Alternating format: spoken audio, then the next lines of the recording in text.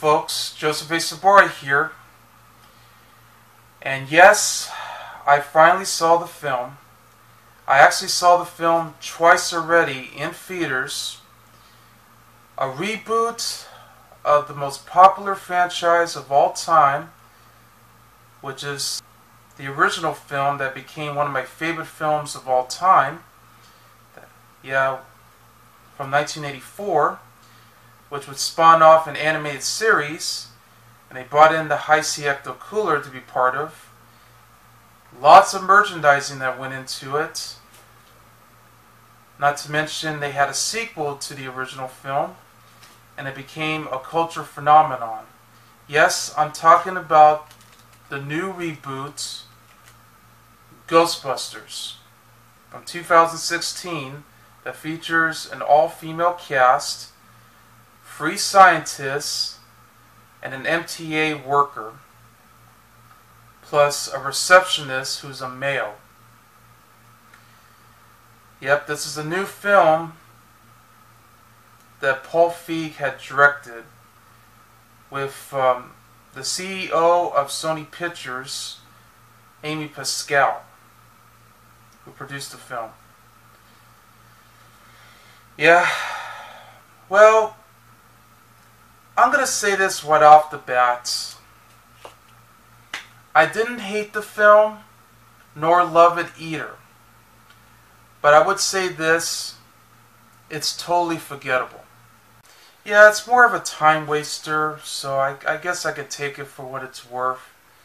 But it's not the greatest. It has its funny moments, and I gotta admit, I did laugh when I saw the film, especially seen it twice already with my family. I mean, I saw it once uh, by myself, you know, just to see what all the fuss is all about. You know, mostly because I was taking the risk, you know, having to hear all the controversy that this movie went for. Because I figured, you know, I, I had a gut reaction that this movie, for better or worse, would probably be okay. I mean, maybe it would be a whole lot better than the trailers, TV spots, and all the marketing that it went into. Yeah, because trust me, it was hard to take. Now, I know it started out as being simply Ghostbusters 3 because they were in development for a very long time. You know, Dan Aykroyd wanted to work on that with the original cast returning, but the problem was Bill Murray um, didn't want to do this. Neither is all the other cast. So they figured, well, they had to move on. I mean, they had to do other stuff. And by the time Dan Aykroyd was working on the script for Ghostbusters 3, because the original title was going to be called Hellbent, um, Bill Murray just couldn't uh, deal with it, so he, he actually um, read the script and he thought it was terrible. So he didn't want to get involved in this, for better or worse. So they knew they were going to get someone else to replace him, and yep, it was going to be Ben Stiller. But in years that followed, and, and seeing that this film had been in development for a very long time, yeah, development hell, that they decided to make a video game that's based on the first two films. And the fact that um, it added a new plot uh, towards the, the video game, so that's where Dan Aykroyd actually claimed that this is actually the third film. Now, okay, I guess I can sense that too, but even I kind of disagree saying that Ghostbusters the video game was the third film, per se. Because it's a video game, guys, okay? It's not a movie, and it was never meant to be. I mean, sure, it has all the footages and all that stuff, but you're just playing a video game, okay? I want to see the real movie. That's what I wanted to see as a Ghostbusters fan. But, but hey, you know, this was released at the time when I hardly ever played video games anymore. So I started buying mostly movies, you know, being a movie buff and all. But now I, I feel like I totally made a big mistake. And and looking back at it, I would say that they're right all along. I was wrong that Ghostbusters the video game is the third film. And that's the only way we can have it.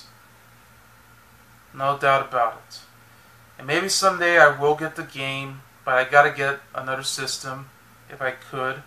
I mean, if maybe I might get a PlayStation free someday, but I don't know if that's ever gonna happen. But who knows? Otherwise, I could just get the game um, from the Wii or Xbox 360 because I know we do have um, those systems. So who knows? We'll see. But they've been trying to work on it for a very long time. You know, Harold Ramis thought, well, maybe he'll try to see what he can come up with, and then because of all this had been going on for so long that it was never going to happen.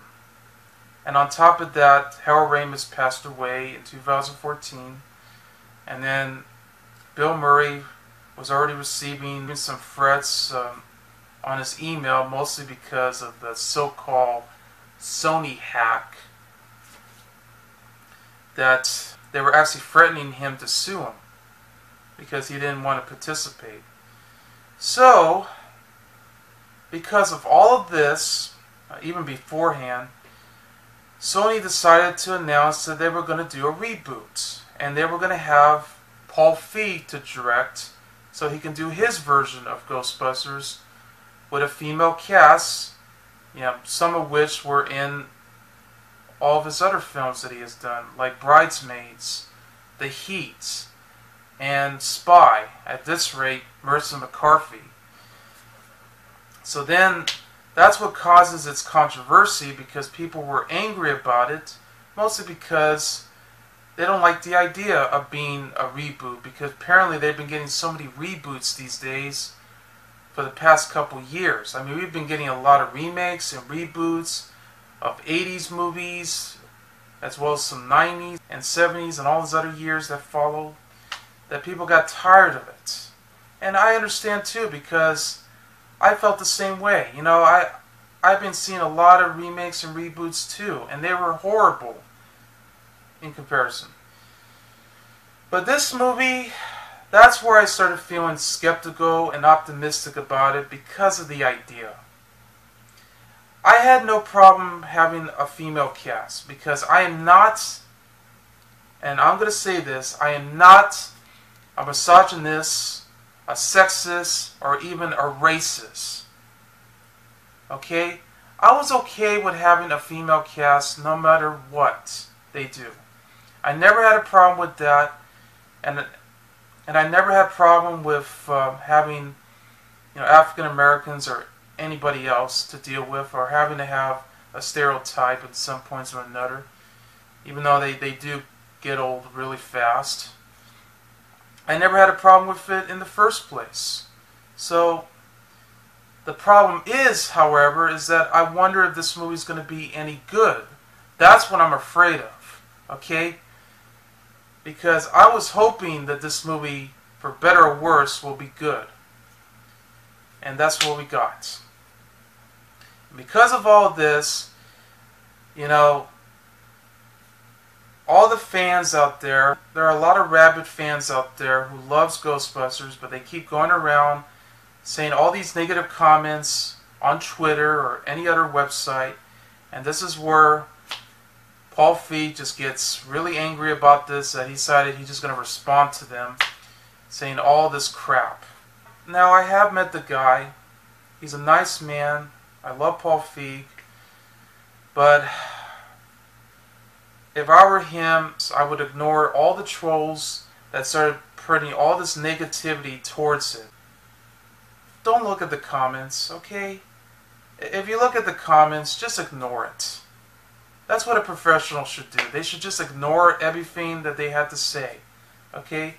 That's their loss. Okay? Don't don't feed the trolls. Okay, I've been in that situation too. Trust me, it sucks. But I learned my lesson. So, at least I apologize. But I hope Paul will definitely feel the same next time if he ever deals with this crap again. And I know he's been dealing with that too just recently because Uh, actress uh, Leslie Jones um, got attacked too, just after the film got released on Twitter. Yeah, another example of cyberbullying that causes her to delete her account, or at this rate, close it. And I know, that sucks too. She deserved better than that. And I feel sorry for her because of it too. And and I definitely feel sorry for Paul Feig having to get involved in this garbage. But what can you do? What can you do? But with that aside, this movie deserves better. It really does. You know, it just doesn't feel like it has the the spark and energy that the original film have, and that was the problem. And I just hope that you know they will definitely learn a lesson from all of this. That when you do a movie like Ghostbusters, you do you do your research properly. Just to know that Dan Aykroyd, you know, the writer who came up with the idea, because this was part of his uh, pet project, was that he wanted to create a movie that's that could definitely uh, greet the audience and and definitely get to see what was it like if you have so many ghosts floating around the entire city and you want to have heroes that are scientists who are smart and have intelligence can actually save the world. Think about it. I mean, they're basically exterminators for ghosts. So I, I know it's been done already with some of the earlier attempts uh, for Ghostbusters. I mean, we did have the 70 series Ghostbusters, and we did have uh, the the cartoon version from Filmation that's based on the idea. Hell, we even got an earlier cartoon from Disney, which we have uh, Mickey Mouse, Donald Duck, and Goofy, you know, portraying as the Ghostbusters. Long before we even had this movie, but this was just his whole different experience of it and he and with the help of writer Harold Ramis, that this movie really became a cultural phenomenon.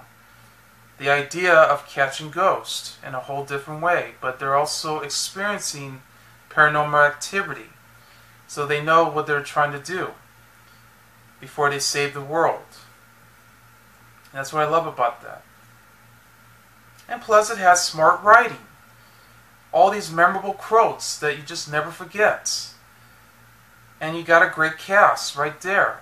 You got a wonderful score, especially um, the theme song by Ray Parker Jr., which actually written it out as basically something out of a commercial. Um, but it's also destined to have a lawsuit by um, singer Huey Lewis because it was similar to that song that he did called I Want a New Drug. But nevertheless, you know, he, he lost the battle and and he won. so at least he now got his version of of the theme song we all know and love. So let's get to the movie. It stars Melissa McCarthy, Kristen Wiig, Kate McKinnon from SNL, along with Leslie Jones, Chris Hemsworth, Cecily Strong, Andy Garcia, Neil Casey, Charles Dance, you know, from the movie The Golden Child and Last Action Hero.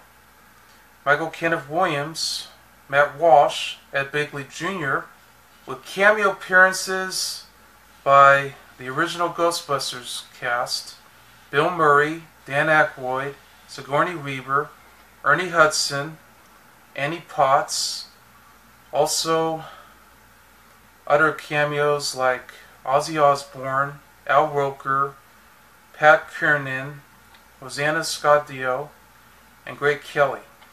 It's written by Paul Feig along with Kate Dippold, you know, which they teamed up together since uh, Bridesmaids, as well as uh, The Heat and last year's Spy. And of course, it's directed by Paul Feig. The movie begins set in the Oak Mansion in New York City where a group of people are taking a tour we meet a tour guide named Garrett, who's played by Zach Woods, who tells a story about a disturbed woman named Gertrude Ulrich, where he was kept locked inside the basement by her father. Suddenly, a candlestick uh, fell over the table, which that's already near the basement, just to scare the group off. And just when Garrett was ready to close down the mansion later on, he suddenly hears noises coming near the basement. Yeah, where the doorknob starts to move as it turns, and then it starts to shake up, actually scaring him by screaming. And then he ran off, just trying to find a place to hide. And he actually threw the chair onto the ghost, and then the ghost actually threw him back. Yeah. And then when he went inside the basement, locked himself in, suddenly a huge glob of slime that's coming right straight up from the ground and was ready to attack him. That's when he screams, No! No! No!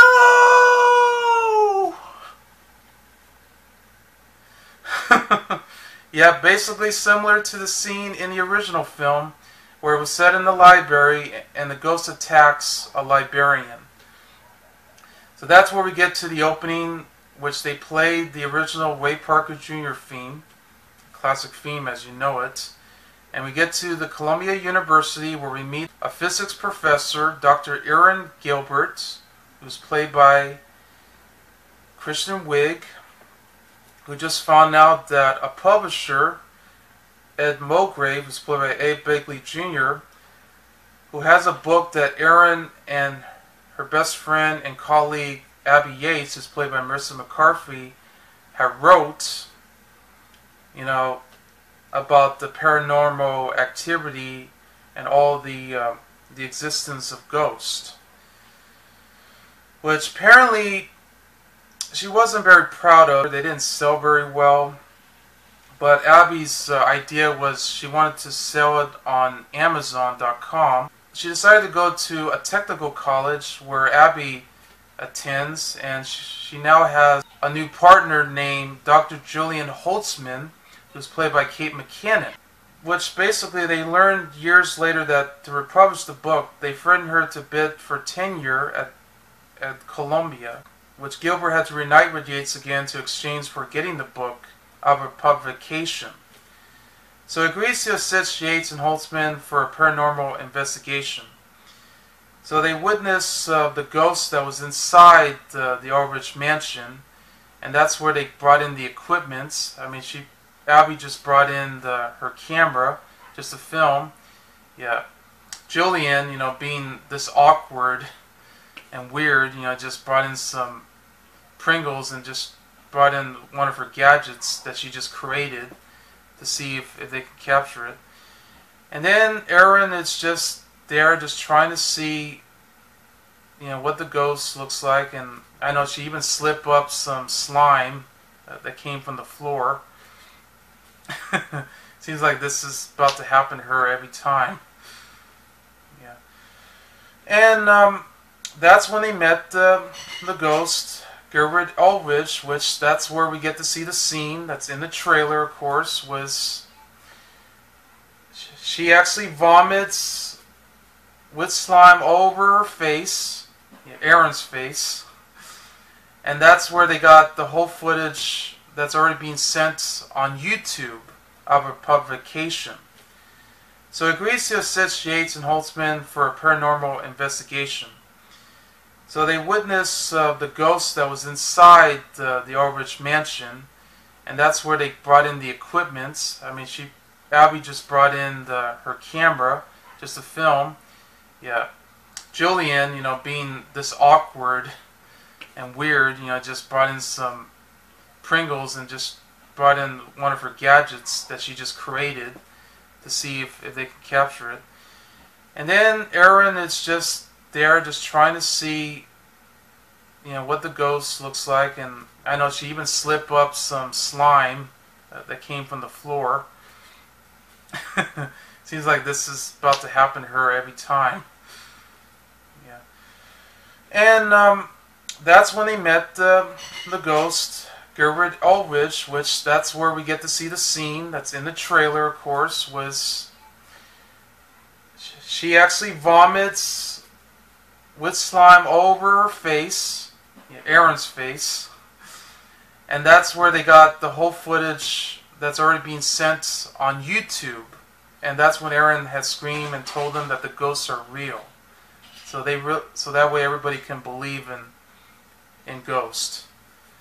But that alone just got them into trouble because now Erin Gilbert has been fired by the dean Harold Fillmore, who's played by Charles Dance. Mostly because he's up for tenure. Not only that, but Abby and Holtzman had got fired from their technical college by a dean who, yeah, happens to be a jerk who just actually flips the bird and actually says, go suck it. So they got all the equipment that they need and they decided to move in into a new place, their, their new office. At first they were going to get the, the hooks and ladders uh, abandoned the firehouse that they were going to use for their headquarters, yeah, just like in the original film. Unfortunately, it was too expensive. They decided to hold their office inside a Chinese food restaurant. Yep, because that's where we see Abby complaining with a takeout uh, employee who's been sending her some wonton soup. Yep, and this is a running gag in the film where you know she's always complaining about wonton soup because she's always obsessed with it. You know, she loves wonton soup so much that she just you know, she just want to have the soup with tons of meat inside, which basically just looks like a tub of piss. yeah, and, and I swear to God, it, it's not even funny. I didn't find that hilarious when when it comes to her talking about wonton soup. It just makes me not want to have wonton soup. Come on, man, seriously. I mean, where's the joke there? But okay, okay. I digress. But meanwhile, we do meet an MTA subway worker named Patty Tolan, who's played by Leslie Jones, who witnessed a ghost inside the subway tunnel, which turns out to be a prisoner. Now, she ran away and, and contacts the department. You know, Abby, Erin, and Holtzman had just came up with their new name of the department called the Conductors of Metaphysical examination. And not only that, but they also hired um, a dim-witted, yeah, who's a complete idiot, but he's also very handsome and a hunk, named Kevin Beckman, who's played by Chris Hemsworth. You know, who just wears uh, geeky glasses with no glass on him, and you know, he's also started to create a logo for the team. Yeah, first it was that Ghost logo with boobs. I gotta admit, I did laugh at that scene.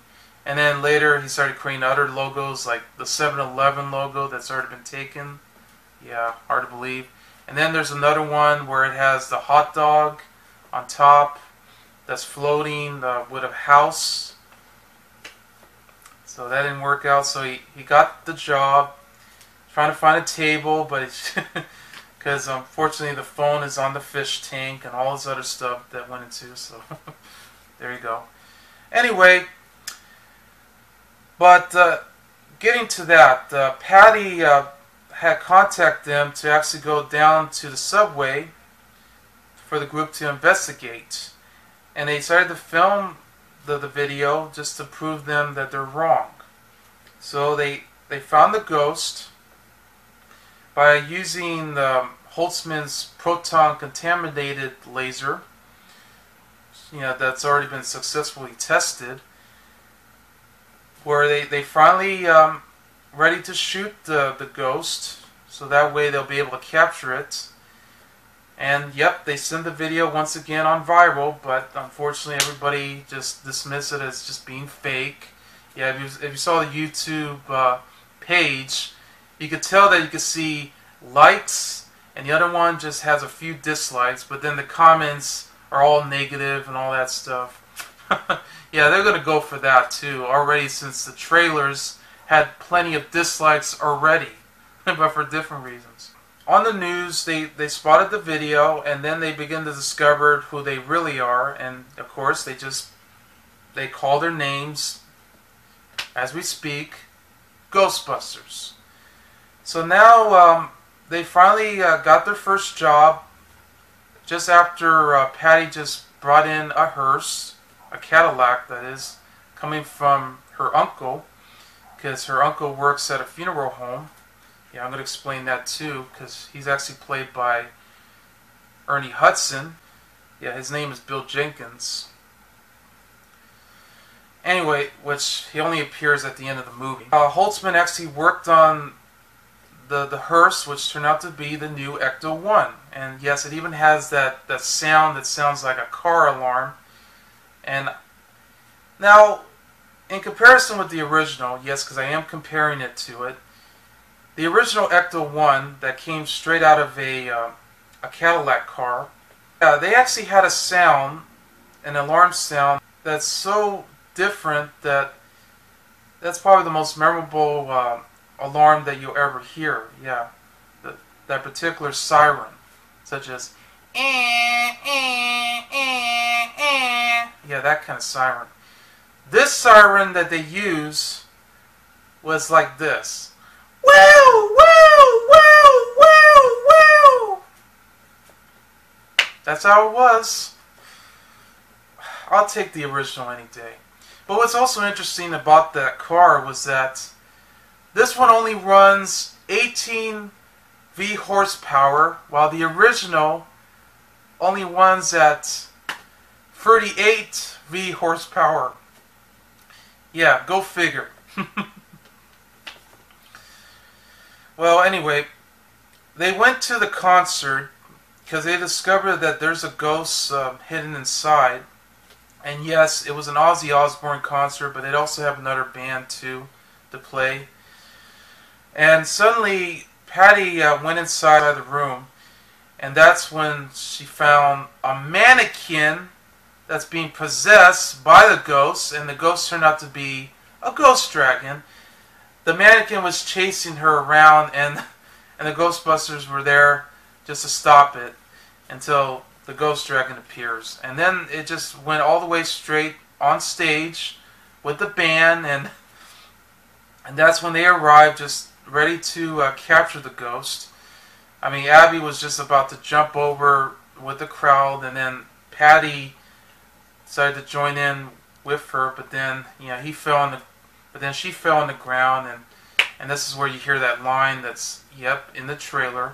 Yes, I I know I have to mention it because it happened, where she says, "I don't know if this is a race feint or a lady feint, but I'm bad as hell. Get me up!" That's right. It's all in there. I, I, I thought they were going to cut that out, but they didn't. They kept it in. Well, anyway, um, the ghost dragon was on top of her, and she was about to rock very slowly. Yeah, one fan actually took out a selfie stick and took a picture of it. And yes, the Ghostbusters was ready to to shoot the the ghost uh, dragon and capture it on their ghost trap that they created. And there you go. they got it. And the band continues to go on, and yes, with uh, Holtzman actually smashing the guitar. And then that's where you see Ozzy Osbourne acting like he was in the TV show The Osbournes on MTV saying, Sharon! And like that. And then after all of this, um, because they finally uh, save everybody from the ghost. Yeah, they now reveal themselves as the Ghostbusters, and then suddenly we meet Dr. Martin Heiss, who's played by Bill Murray. Yeah, so he has a cameo in the film, and boy, I, I already know about this by the moment I saw that this was going to happen to him, because unfortunately, he didn't believe about what they did, so they considered to be frauds already, mostly from the mayor of New York, uh, named um, Bradley, who's played by Andy Garcia, along with the assistant uh, Jennifer Lynch, who's played by Celie Strong, along with Officer Stevenson and all the rest. So that way, you know, they don't want to be part of this this mess that's happening. You know, part of the mass hysteria. yeah, they even throw in some quotes from the original film too in the mix. And also we have a villain who's very weak, um, named Rowan North, who's played by um, Neil Casey, who wants to create uh, the fourth cataclysm. So he basically has this plan to actually wipe out uh, the Ghostbusters and all the rest of, of the entire people throughout the entire city. So now it becomes, you guessed it, the apocalypse. And yeah, he's been bullied all of his life too, as he claimed, but now he's going to become the bully himself. there you go. So he's coming up with all of his machines that he has, and basically he kills himself too by actually getting onto the machine. Yeah, he electrocuted himself, and I, I know inside his room he has a lot of uh, frames where they show a lot of ghosts uh, moving their hands around like that placing them on onto the the frame, all the frame mirrors right there. Yeah, doing all that. So that was like wow. but then when Martin Heiss had came over, you know, to their office, just to explain to them if if everything they have captured is real. But of course, you know, he wanted the Erin to open the the ghost uh, trap so that way he can see it to see if they're not lying or not. Yeah. Oh god, and, and I hated this scene too because I, it does make me feel uncomfortable having to see that. Where basically Martin tells um, Erin that about their suit that you look like you just came right out of a, a garbage truck or something. Yeah, because I know their suits that they wore looked like something out of uh, Caltrans, but those were the suits that uh, that uh, Patty had created. So yeah, that you could tell because they all look like uh, Caltrans suits. You know, all orange lines and brown. You know, all the jumpsuits like that. And of course, I know they suit up uh, with all the proton packs that they use, everything that they got. Yeah, all of that. well, anyway, they open the trap, and this is when he says, Casper? And then he, then he flew all the way up to the window, got killed. Yeah, he went all the way down to the pavement of the building while the ghost dragon escapes. You know, this is why I'm getting sick and tired of having to see Bill Murray getting killed off in the movie. Okay, if you want to see a better death scene, check out Zombieland. I mean, he played himself in the movie. I thought that worked, but th this is getting old real fast, and I just didn't like that scene at all. so, of course, that's that's had to happen. So now Rowan is already being possessed as a ghost, and now he's ready to go after um, the crew. Just when Erin was about to read the book to find out about Rowan's plans, th this is where, because um, Rowan is also an artist himself, he actually created the, the fourth cataclysm that he put up on his book that he got. And um, Suddenly, Rowan actually possessed Abby inside the bathroom. And yes, this is where we get the the Exorcist reference. Yeah, where uh, Abby was just ready to throw uh, Holtzmann out of the window. Yeah, the same place where yeah Martin Heiss got killed, and then he already grabbed, him, and then Abby's head was about to turn and. And I gotta admit, I laughed at that scene too because that's. I, I, thought that was hilarious. I have to admit, I I gotta admit though, even though I thought it was ridiculous at first, I I laughed just because of how how fucking messed up it was. But yes, uh, Patty actually starts screaming, and, and he says, "Get out, of my friend! Run!" And, and then Abby says, "Oh, that's gonna leave a mark." And he says, "The power of panic compels you." okay, I, am sorry. It, it just gets to me somehow. And then Rowan suddenly went straight into uh, Kevin, who's already dressed up as a Ghostbuster. You know, he brought in the motorcycle and and uh, and he had the helmet too. Suddenly he gets possessed, and now he's becoming, you know, Rowan inside his body and just ready to create the the apocalypse that he's been planning on. Um, I know they were all testing out on all their gadgets. Yeah, where they had the proton punch. Yeah, just when they use it as a target for the ghost. Yeah, I, I had to say that was a funny scene right there. And, and then they were using all these other targets, all these other gadgets that she created, so it just makes it look really good. So in case they capture all of them and they kill them, so there you go.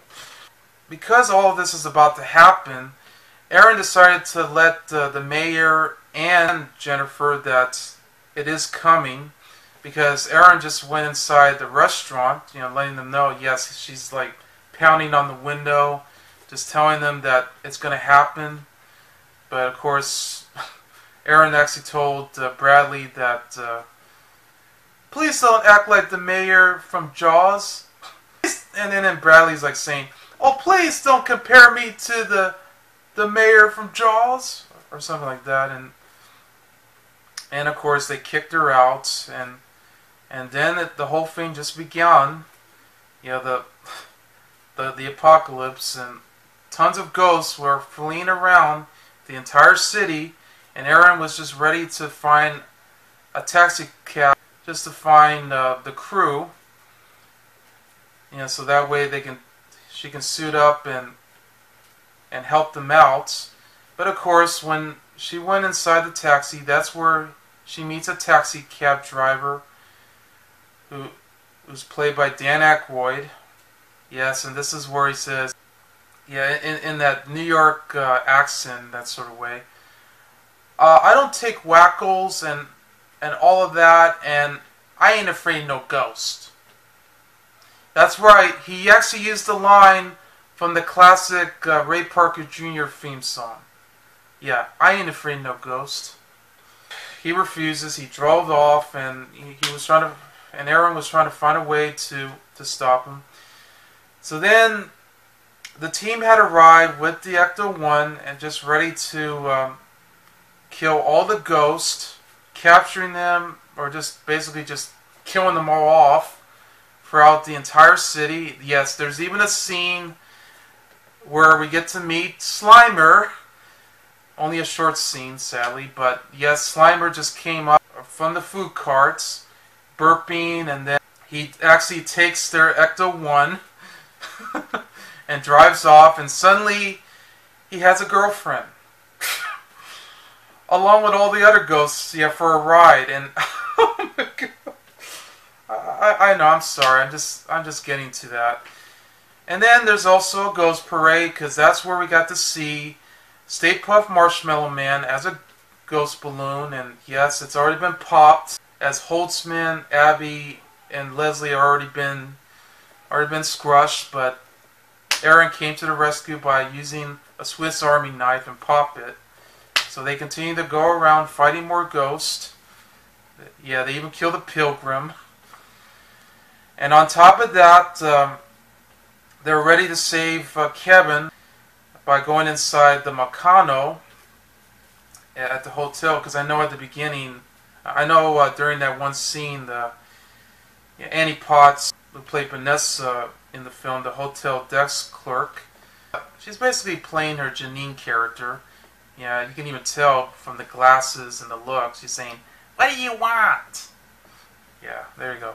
And already ready to attack uh, Rowan, and they they got uh, Kevin, so he's safe, even though he's already unconscious. That's where he turns himself into the No Ghost logo. Yeah, which is which is this one. Yeah, this the same No Ghost logo as as you spotted inside the the subway, which um, a graffiti artist had created.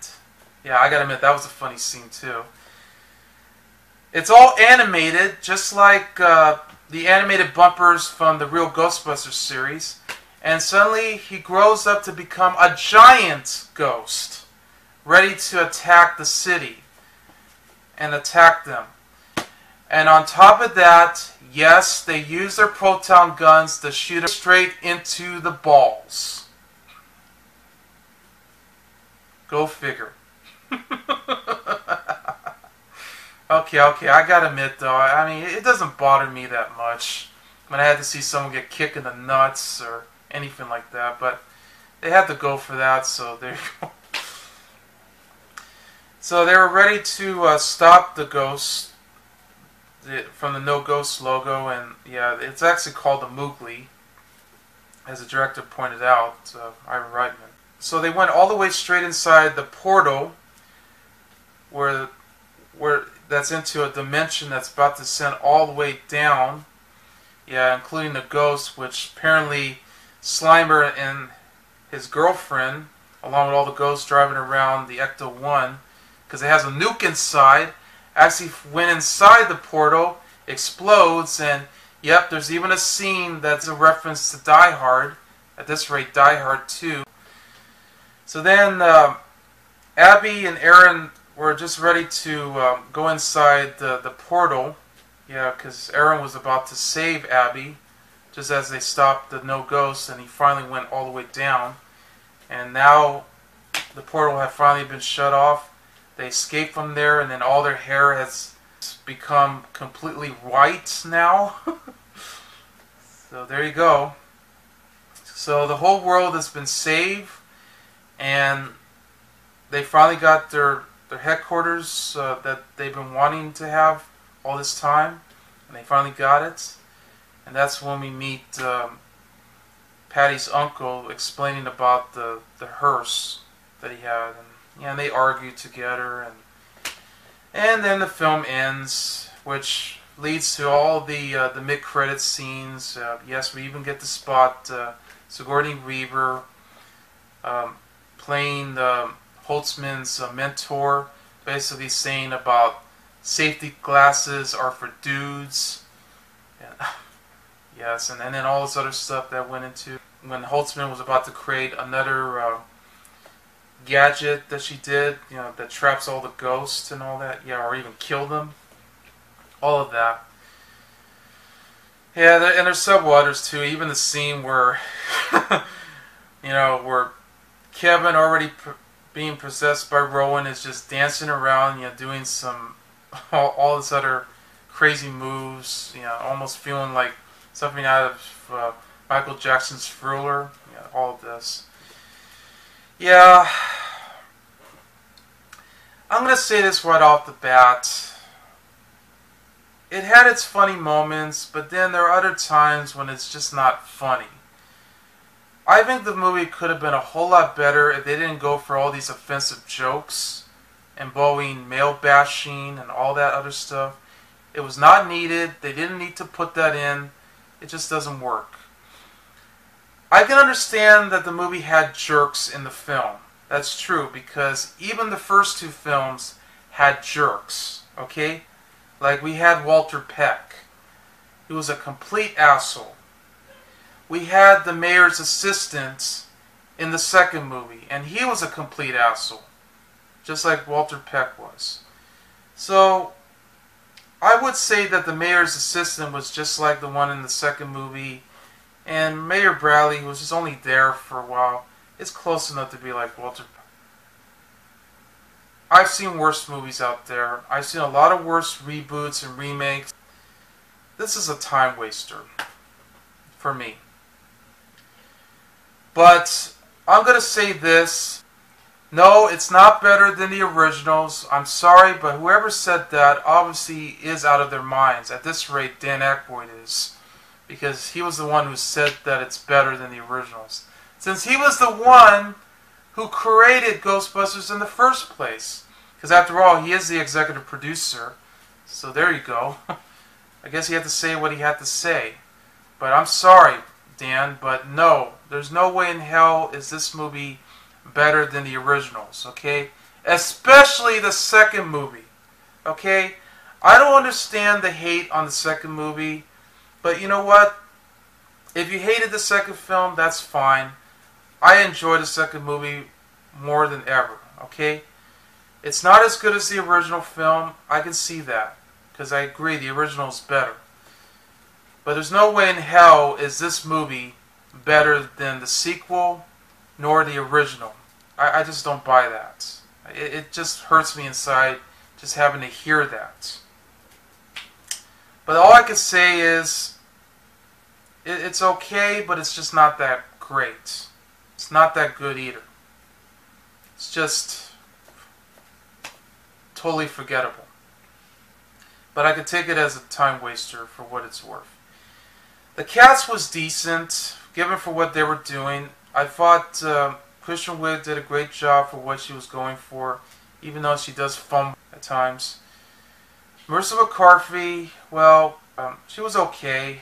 Um, uh, Kate McKinnon as uh, Holtzmann just feels quite awkward at times, but I guess I could take it for what it's worth. She's not that bad. I, I like some of the jokes that she comes up with at times, even though she is very weird.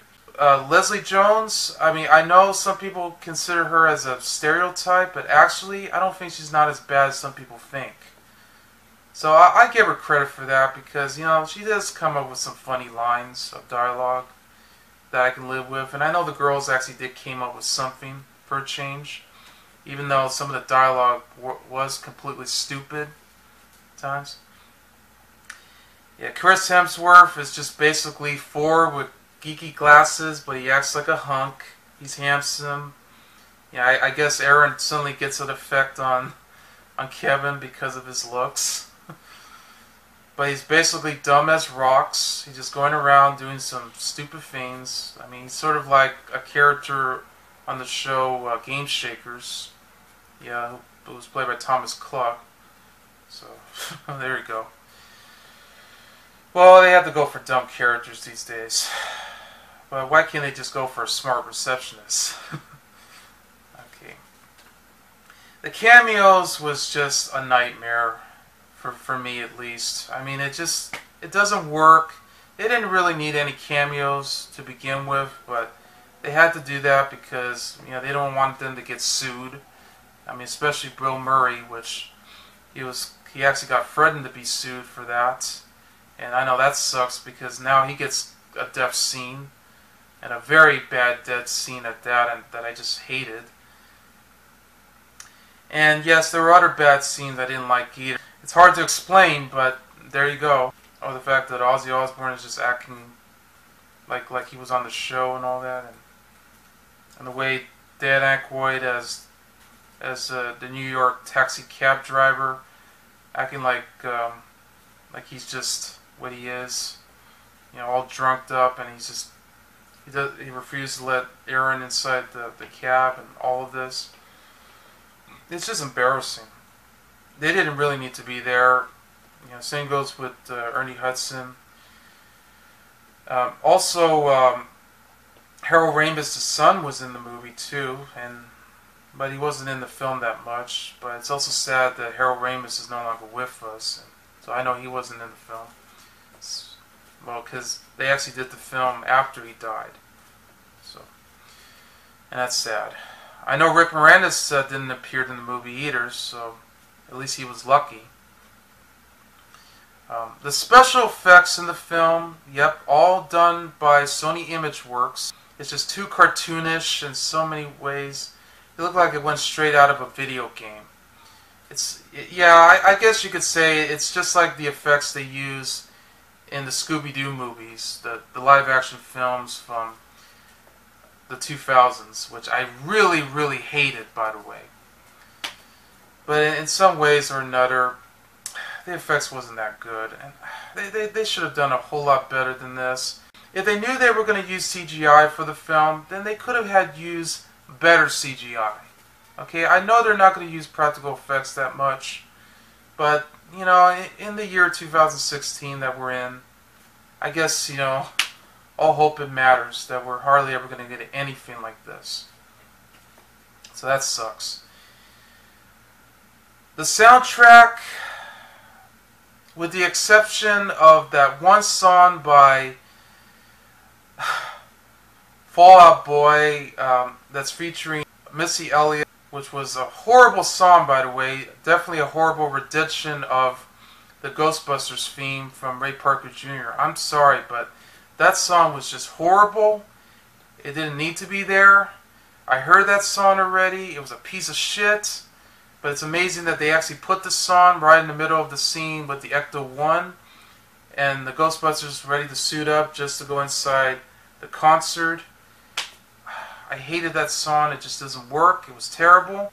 But the songs that went after it was not that bad at all. I actually did enjoy a different cover version of the Ray Parker Jr. theme that's done by Walk the Moon.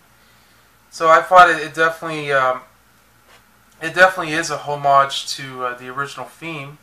It definitely sets it straight. It it definitely has uh, the feel to it, so I love that. And they also have some other songs too, even the, the song Good Girls by uh, Rob Schneider's daughter, uh, King. So I thought that was good. I love that song. So it wasn't that bad. I'll give you that. But as far as the film's concerned, it deserves better. But there's no way in hell that it's better than the originals because let's face it, the originals will always be the classics. So is the TV series, The Real Ghostbusters, along with Extreme Ghostbusters, because that's the best one we, we ever had after The Real Ghostbusters. That should have been the movie, by the way. When you have, you know, a mixed gender cast, which I think I would have preferred too. That would have been nice. And they come up with a whole new generation, but I guess it's okay to have a female cast as long as they come up with better jokes and all that. And the direction that Paul Feig has done, I think he could have done a whole lot better for what he was given. And I wish he had written the script better with uh, his partner Kate Dippold, who had a cameo in the film as the, the rental agent. Yeah, that was her, by the way. I just wish they'd come up with better jokes just to make this movie more smart and intelligent. I mean, that's what made the original good in the first place. Because it had a smart and intelligent script that was written by Harold Ramis and Dan Aykroyd. And it was directed by Ivan Reitman because he did a good job, you know, doing a film like this uh, after he did Stripes with Bill Murray. It was definitely the perfect uh, choice for a comedy, a fantasy comedy horror elements towards it, so it worked. I just wish this movie had that, and that's how I felt. But what can you do? And now that the movie's a flop, making its budget for $144 million, going worldwide of $193 million, which already the film has been banned in China they're just not doing so well to make a possible sequel. And that's sad because that's it looks to me like it's never going to happen. So I guess they have to move on. so definitely learn their lesson from making a reboot like Ghostbusters. Next time, when you do films like this, try to find better material. Don't write all these offensive jokes involving uh, males. Don't make them look like idiots. Okay? But on top of that, uh, the mayor's assistant was was a bitch anyway, so I'll give you that. and then come up with some funny jokes that doesn't go for for the stupid, because then you'll have a better movie. And there you go. And the fact that this movie has a certified fresh on Rotten Tomatoes completely surprised me because I figured I was going to give this movie a chance at least. But the fact that this movie got a positive feedback from critics, you know, some of which are negative um, for some people, yeah, because some of them, including the audience, had totally dismissed it as they saw it because they knew that this movie was going to be bad. In fact, I know one of the critics actually said, um, the girls are funny. Get over it. And then there's another person that just defends it despite of all the backlash it's getting. But there you go. But I'll give you this though. If you love the movie, I'm cool with it. But if you hated this movie with a passion, then don't bother seeing this movie or or just or even if you have seen it already then and you hated it so much then and you don't want to see it again, well then I'm I'm glad that you felt that way because I, I definitely respect your opinion and I'm glad everything's good for you guys because I agree. I'm just going to dismiss this as a time waster. It's okay. It's fine, but I agree. The movie's not as good as I thought it would be. It's just totally forgettable. So with that aside, I give Ghostbusters from 2016, the new reboot with an all-female cast, two and a half stars. I'm Joseph A. Sobora, and I'll see you later. Bye.